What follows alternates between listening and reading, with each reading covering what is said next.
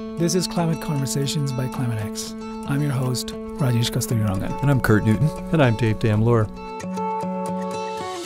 So today in Climate Conversations, we have John Fernandez, urban metabolist, director of the Environmental Solutions Initiative at MIT, and uh, he will be talking to us about everything that cities do and where they do it. Great.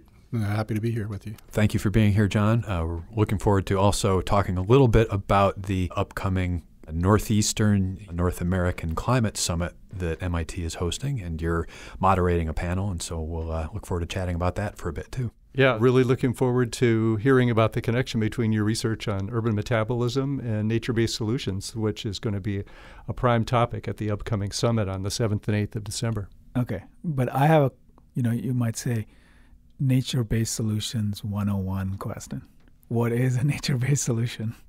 Yeah, so I think the the best way to look at it is that there are natural systems, forests, the ocean, uh, wetlands that have a role in the climate. They interact with the climate.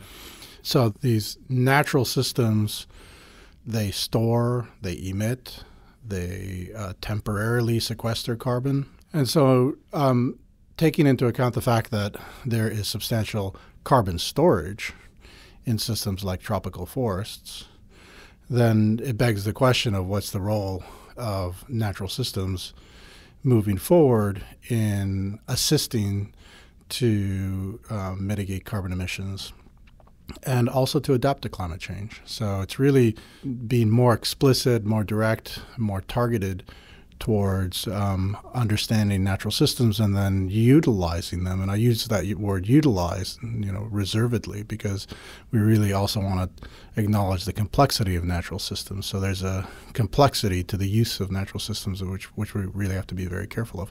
But essentially, it's that: how do forests, oceans, wetlands contribute to what we need to do um, to address climate change. Can you put that uh, a little bit in, uh, say, relative perspective? A lot of climate change related conversations we have in the broader culture get focused on technologies like renewable energy and maybe a little little less recognition about the, the power and the value of these things. How how important is this?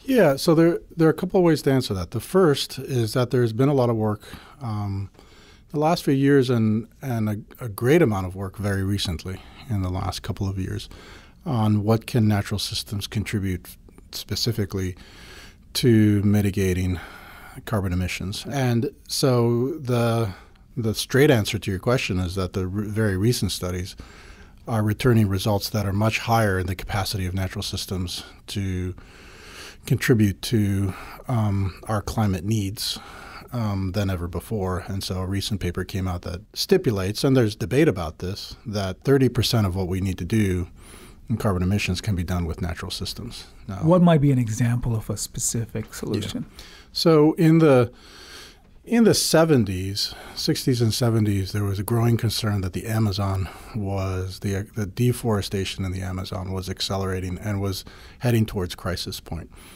And at that time, a, there was actually quite a concerted effort to stem the tide of deforestation. And it, it was actually reversed. Uh, the Amazon afforested, added trees for, for a few decades after that global effort involving lots of different kinds of people, lots of stakeholders. We're back to deforesting the Amazon.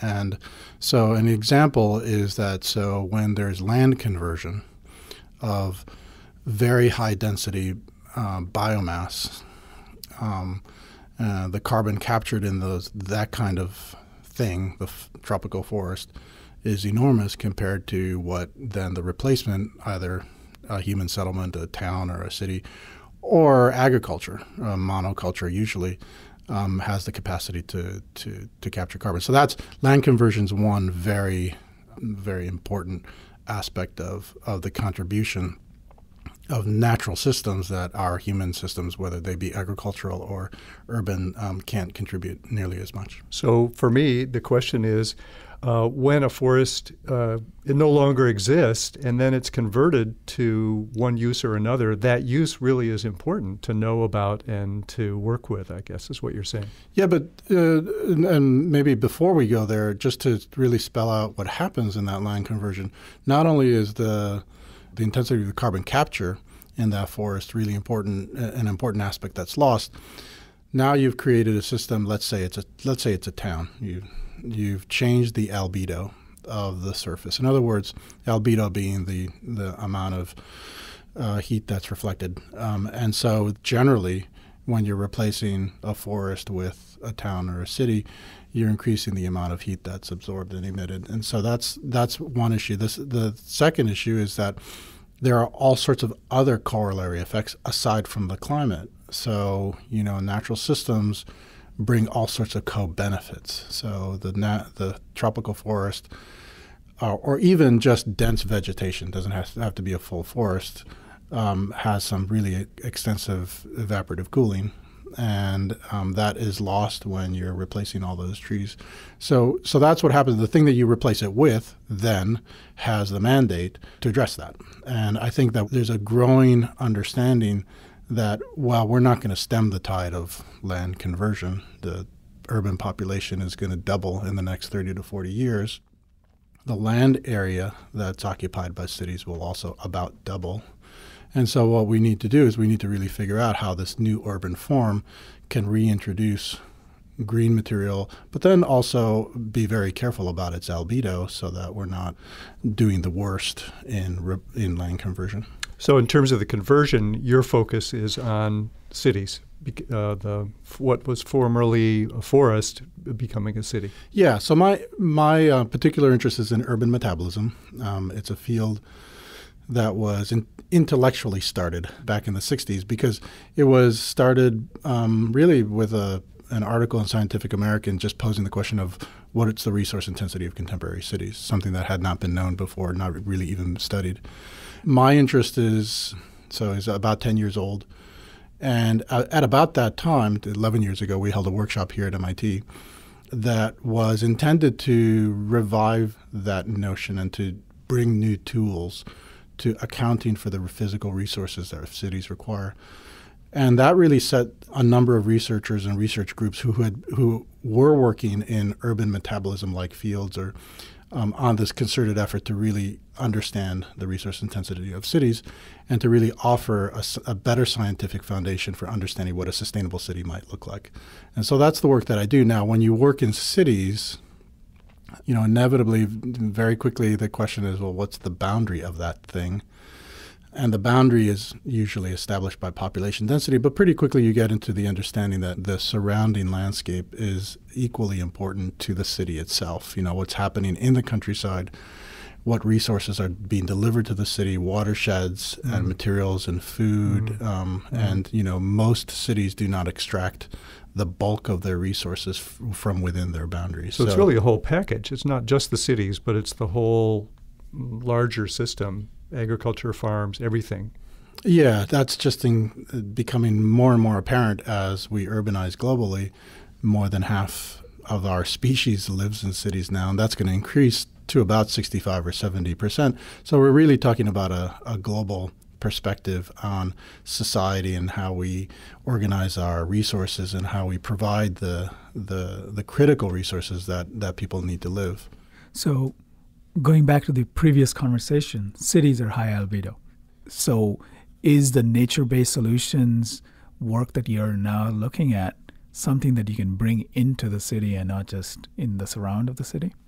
Yeah. So the work that we do in urban metabolism in related to nature-based solutions is is to understand the floors uh, at which you can really, you know, bring back some natural contribution. I think what's not well understood is that the low density services that natural systems can can deliver so, for example, when you talk about the ability of a wetland, an, ur- an urban inner, inner city wetland, to process solid waste, right? The, that's very low density at scale compared to a mechanized system. So I think we have to be one of the things that we do is is to bring the analytics to understanding what blue green infrastructure mm-hmm. can actually realistically deliver to cities and couple that to all sorts of other strategies. You mentioned albedo. So street trees are extremely valuable because of the the ability to reduce the lo- the, the temperature of, of microclimates. Mm-hmm. So to give you an example, um, it's been shown that the urban heat island effect, which is the accumulation of heat over a, or over a day and over a season in cities, contributes a great deal to increasing building energy because if you have an urban canyon, so if you have a street and, and tall buildings on either side, you're storing heat. That heat gets recirculated into the building as the building's drawing air to cool itself, and you're increasing the the amount of energy required for that building to deliver the same uh, air conditioning during the summer. So it's a self-reinforcing loop. Uh, trees and you, the, you know the larger the better and the more of them the better uh, have evaporative cooling effects and can provide some of that cooling simply th- through the fact that they're they're damp. The, you know the, the soil around them is damp. And, and you know these are very very modest contributions overall but but but it helps. So the kinds of things we're talking about the the recognition the the power of some of these natural processes for them to be to become solutions, they have to be turned into policies effectively. Is that correct? We have to figure out some way to not just have the awareness about the facts, but somehow systemically roll it out. That seems like a a different order of problem. Yeah. So, and if I'm going to, if yeah. I'm a policymaker, yeah. decision maker, yeah. say at the climate summit in December, I'm going to want to find out about that. Yeah. And so the, there are a variety of scales where that needs to happen. I think that the change in the policy discussion today is that the recognition that there is a role for natural systems to actually address climate change, both locally and globally, is new. And that's new as just a few years. Now, let me couple that to the history of, of conservation and protecting natural systems um, that when you are afforesting, when you're protecting natural systems, when you're protecting park systems, you're also usually contributing to biodiversity. You're also usually contributing to protecting natural capital, and you're usually also contributing in Canadian provinces, certainly, you're contributing to the natural heritage of indigenous peoples. This is extremely important in places like the Amazon, Southeast Asia, where there are there's very rich cultures and very large populations who live in decidedly natural places. And so the so those priorities have been there uh, have been part of society's discussion about nature for a very long time. What's new now is the fact that mayors, governors, and the leaders of entire states are looking at natural systems as being potentially major contributors to addressing climate change. Now, the policies, therefore, are going to be a varied number of policies at different scales. Right now, the understanding of natural systems at the global scale as part of the policy discussion is very good. In the local arena and related to our, our regional climate summit, natural systems are now bound by political boundaries. And therefore, we really do need to contribute on protecting systems across state boundaries, national boundaries, provincial boundaries, and that's where the cooperation really matters. You know, policy is sometimes done by bureaucrats and sometimes by politicians, but the political class, which ultimately holds power, how does that class see natural solutions? Because typically, if you're a politician, you're thinking about economic outcomes, you're thinking about votes or other such pressures. And natural systems usually don't fall into that. Yeah.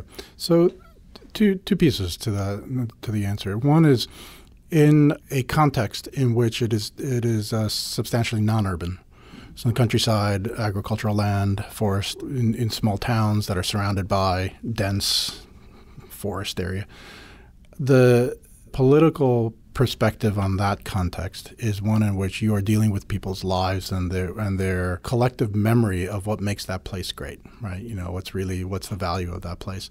A lot of economic interest in that, uh, hunting, sustainable agriculture, tourism. Uh, there, there are many ways in which the economic value can be articulated, but you're also dealing with the history and the culture and the legacy of those communities.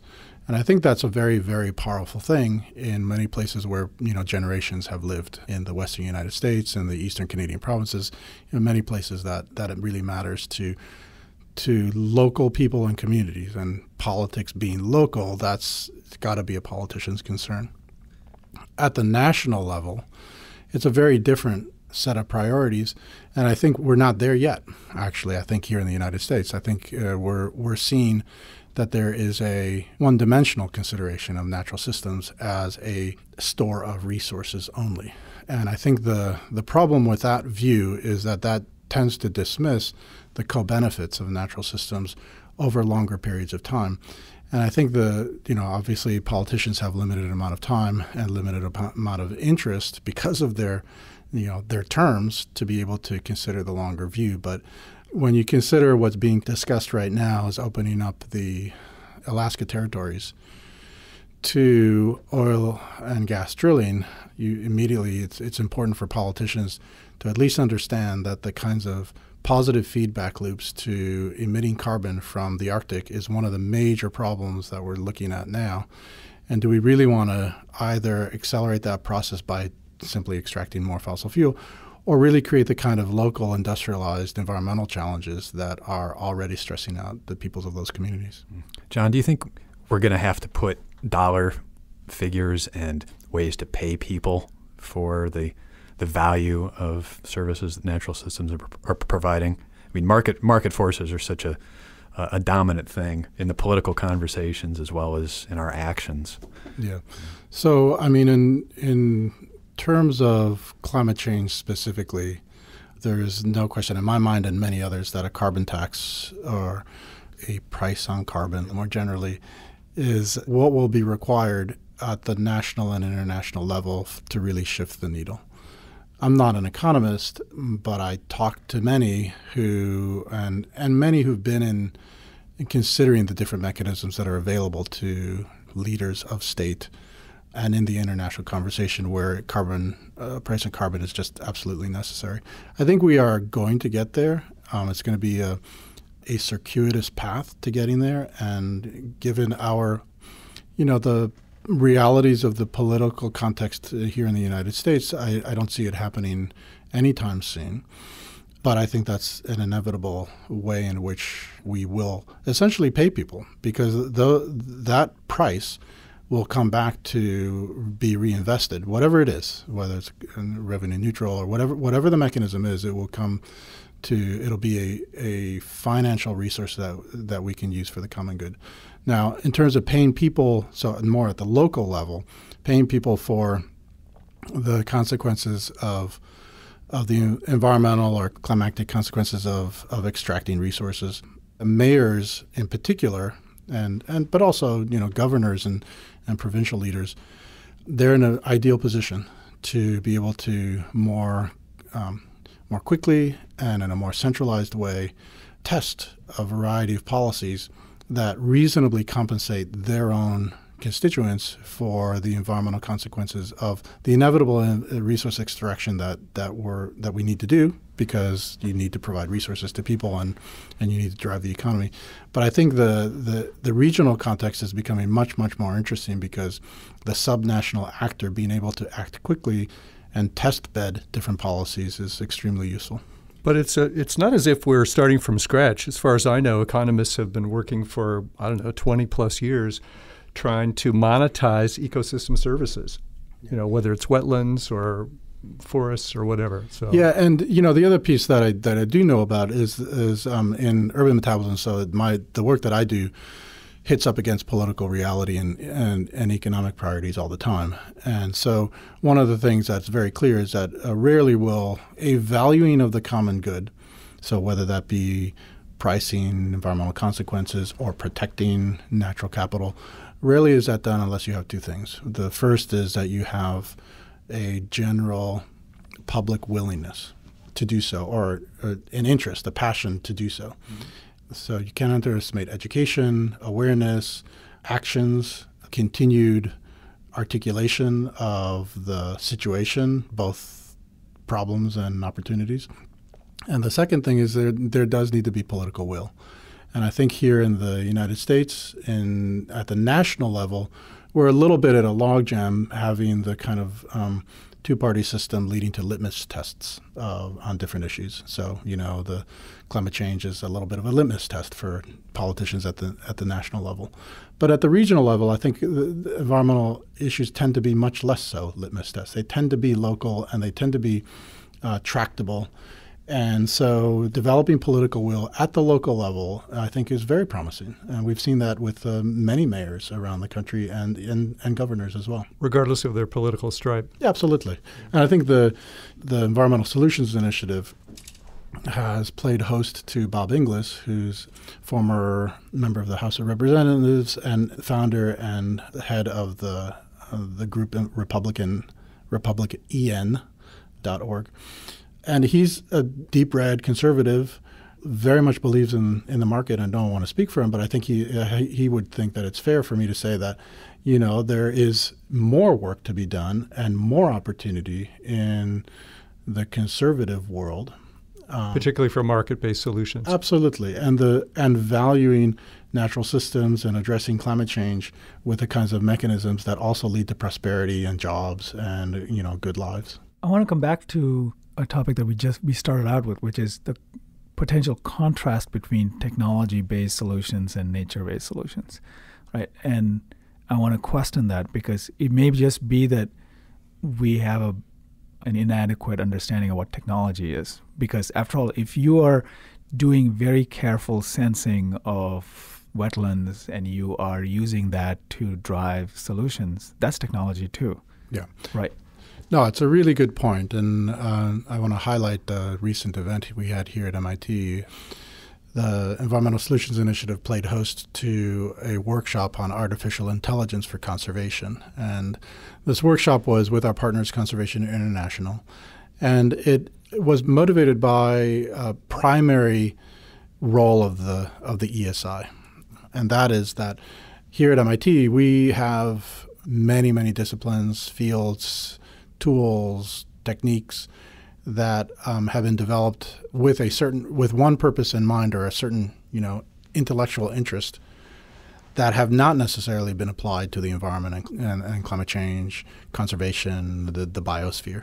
And so that particular workshop was really meant to bring together two communities the artificial intelligence, machine learning, robotics, and, and actually sensor design people coming out of the computer science and, and artificial intelligence laboratory, the Media Lab, and other entities at MIT, and bringing them together with people who've spent their career in conservation, conserving, protecting natural systems. And the point there was to to find ways in which artificial intelligence. So, for example, being able to derive real value from enormous data sets. So the conservationists have decades worth of camera trap images, and these are images that come by way of a camera in place in a in a forest in in a wilderness with a with a motion sensor capturing the image of whatever animal crosses its path. And this is one way in which conservationists they account for the density of different species in, in the wilderness. And so they have all this data, um, but they don't have the tools to process that data in an economical and rapid way. So bringing artificial intelligence to the processing of those images is just the beginning. I'll give you another example. Autonomous vehicles, robotics for marine environments is a pretty mature field. You know, lots of submarine designs and you know and we know UAVs are are all over the place in the oceans as well as the air, right? So, you know, drones, quadricopters and, and planes. The robots in natural systems on on the ground in varied terrain is a real challenge and there's a lot to do. So imagine as opposed to having a set of 100 camera traps placed in a tropical forest by hand and then having to be visited over a six month two year five year period by individuals trekking into the forest lots of time lots of expense um, and the durability of these camera traps is, is also a question in, in very challenging con- conditions. Imagine having a swarm of robots that's very robust, maybe soft robots, relatively small scale, that can be launched, you know, at one point and they disperse themselves in the forest for a five year period. And they climb trees, they take photographs, they come down, they go to the next tree, and then at some time they they come back home, right? And then they deliver the data to. I thought that's what grad students did. Yeah, exactly. and grad students are the inexpensive way of doing that. Yeah, that that is true. Um, but you're right, completely. When we often we think about technology, we're thinking about well, you know, the combustion engine or you know, coal-fired power plants when we're talking about uh, climate change. But the technologies for understanding better information and deploying technologies in a way to uh, to achieve mitigating and adapting to climate change, there's it's it's a wide open field. And and to just to build upon that, that's also what 21st century technology is about, right? That combustion engines are not 21st century technology. Yeah, and the the other thing I, I, think to say about this is that you know another way to look at it is, and I think it's a better way to look at it really sometimes is as opposed to focusing in on the challenge of climate change, which uh, admittedly you know the an as existential challenge possibly for the human race. Think about the paradigm shift that's happening right now. Everything is changing. The climate's changing. Our accessibility to resources and the types of resources is changing. Information has changed everything. Um, information technologies if I were a young engineer, I'd, I'd think about well, how am I going to how am I going to really contribute to you know doing what I want to do, a startup, develop a business, have a huge corporate, you know, whatever it is that I want to do in this changed landscape. And and climate change is, is you know central to that that new landscape. So I would want to figure out a way of being inventive, innovative, and entrepreneur in that new landscape. Because if you're not thinking about climate change, then you're thinking about an old landscape, and your entrepreneurial ideas may be outdated by the time you really get them going. So, I know that as part of ESI, you're also developing an environmental studies minor. Do you do you think that this mentality of bringing climate change into your technological thinking will be part of the minor? Yeah, there, there are two pieces to our educational uh, work at the ESI. The first is this environment and sustainability minor, and it's available to all undergrads uh, in any major and five classes, and they can be taken in any order. And that's really to fulfill what we have found is a real demand for this kind of thing by undergraduates in all in all the majors. We've heard from math majors and com- computer science, architecture, everybody. And so we're thrilled with that. Just launched it this fall and the two core classes have been developed, and, and we're we're marching on with that. We're looking really looking forward to that the future of that minor. The second thing is a very different kind of educational approach, and that is we've started this project to infuse a number of, of general institute requirements, which are the you know the technical classics that MIT undergrads need to take, the science and math and and the the project is essentially to go to the instructors of the GIRs. And the thing that GIR instructors always need is new material. GIR stands for General Institute Requirements. Right, exactly. And the the General Institute requirement instructor is always looking for new assignment types and new material because every year it needs to change and it's keep it lively and keep it current. So we just went to them and say, how about a whole series of environment and climate related uh, problem sets, which are the assignments here at MIT, and, and other material that students in these foundational classes can learn through. And there's no question that learning with problems that are not only applied and real world, but really current, you know, it's in the news all the time, will immediately get students' attention in ways that you wouldn't otherwise if the problem were just an abstract problem to you know, to apply something that you learned in classical mechanics. So we're, we're thrilled with that project. It's been launched. We've had assignments in which we now have accounted for approximately 450 students doing those assignments. In global warming, for example, that was the term that the professor used. And so we know that we're getting in front of many, many pairs of eyes in that way as part of their normal studies, not as an environmental studies minor and not as anything specialized, but basically reflecting what I was saying before is that whatever you're going to be doing as a career and as a discipline, climate change and the environment is going to be a part of it. Better that people have a uh, intuition about climate change than about catapults, for instance. Yeah, it's yeah. another way to learn. And it's a way that's connected to the front page of the paper every day. Yeah, that's great. So I, I have a question. If you project out five years from now at MIT, the mi- environmental minor, all these other things that we've been talking about move forward, what's your crystal ball tell you? What's education look like at MIT? So that's a that's a great question, and I could go on a long time, but let me let me be very strategic in my answer. The first is that every major, you will be able to point to an element of that education that includes environmental issues and especially climate change. The second is that there's that educational push, but there's also a real world pull. In other words, in each one of those majors, as students look towards internships, um, summer jobs, and you know, and longer term jobs and careers, that they have pathways in which they can maybe modestly or maybe really in a really major way contribute to improving our prospect for a sustainable world. Mm-hmm. And that, that to me, and that's five years, 10 years, that, for example, very specifically at the career fair, every company states outright, do you have some role in addressing climate change? And if so, how can this intern contribute to that role? Mm-hmm. Mm-hmm. Fabulous. So we've been having a great conversation uh, about nature-based solutions, and there's going to be a, a different form of that conversation happening uh, uh, here on campus in early December with policymakers kind of on the ground doing the the hard day-to-day work uh, around the northeastern North American region. How do you think that conversation will play out? I'm really looking forward to it because I think it's one of the first times that we're getting that particular group of people together. So the Atlantic Canadian provinces, uh, New England, and New York State. Um, leaders in, in all of these areas. And I think the the way it should play out to begin with is understanding the prospects for mobilizing uh, natural systems to address climate change.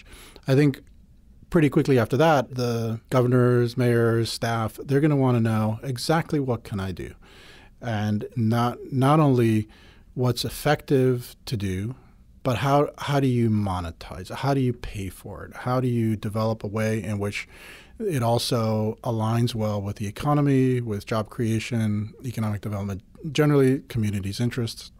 So I think the pretty quickly, you know, coupling the science of the contribution of natural systems to, for example, capturing carbon from the atmosphere, with the policy discussion and aligning it with the priorities of different leaders in these different areas. Now, the, doing it regionally means that there's going to be good alignment on priorities to begin with anyway. Um, we share similar climates. We share, you know, logistical routes and power system and watersheds and many other elements of the natural and, and human environment. So I think the you know beginning with understanding what what it is that these decision makers can do in the short term and midterm, given a better understanding of the science. And particularly, uh, I think also uh, collaborating with each other. Oh, so absolutely. it's not just yeah. uh, listening to the smart things that MIT folks have to say, but it's also listening to each other and really uh, moving the ball forward together. Yeah, absolutely. And I think that, that brings up another point that you know the the, ESI, Environmental Solutions Initiative, and other entities here at MIT are ways in which MIT more directly bridges towards action in the world. You know, how can we actually, and, and in this case, we're using our convening power to bring different stakeholders together. And of course, we'll contribute, you know, the science and the engineering that, that we can. But uh, you're right to point out that a great value proposition here is getting everyone together in one room and as a number of different kinds of entities that can all contribute. And continuing that conversation beyond the climate yep, summit absolutely. in December. Yep, absolutely. Yeah, there's expertise from, from so many quarters, from, from different academic institutions, regional planning boards, different levels of government. So should be really exciting. For sure, yeah. Well, we look forward to that ourselves too. It's, it's going to be a really exciting event, and, and I think, um, as Dave, as you've pointed out, this will just be the beginning of the conversation. Mm-hmm. Yeah.